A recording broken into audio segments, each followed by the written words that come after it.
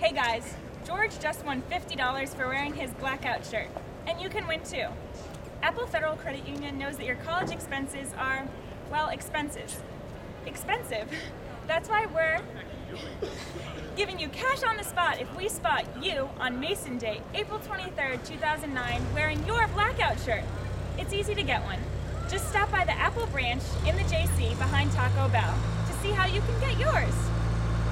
Apple Federal Credit Union also offers great student credit cards and loans, so check them out while you're there. So, for details on the blackout, check out applefcu.org slash blackout. But wait! You could win great prizes just by posting on one of our blogs at howaboutthemapples.org.